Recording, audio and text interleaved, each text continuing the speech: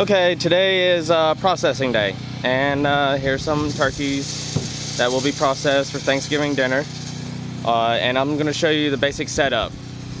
Uh, this cord here is to stun the bird. Uh, I'll hook up the bird for about five seconds to uh, stun it.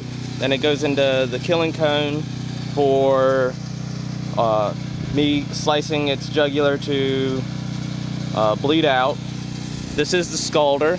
Uh, the temperature has to reach 150 um, for proper scalding. This lid lifts up and hot water in there. Then, uh, since these turkeys are a little bit bigger, I'm actually going to cut off their legs before I put them in the plucker. That way it just doesn't get hung up or anything. And uh, this turns on and spins. Then uh, here's gonna be my evisceration table.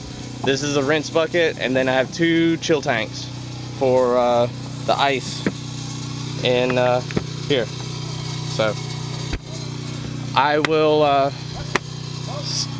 not show you all the nasty parts of processing, but you can basically get the idea. I might show you the uh, plucker when I drop the bird down in there. But that's about it. Um, and I'll show you the finished product.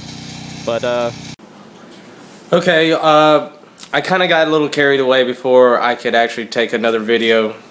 Uh, it's a dirty job. It's kind of uh, hard to film and also process turkeys at the same time.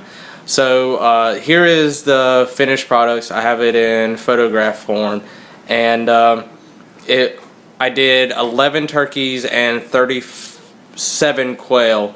Two of the quail I couldn't use, um, well, I didn't use uh, because the plucker actually uh, tore them apart. And, um, but here are the photos and I will uh, uh hopefully bring more videos of products that the farm is selling and uh, thanks for watching.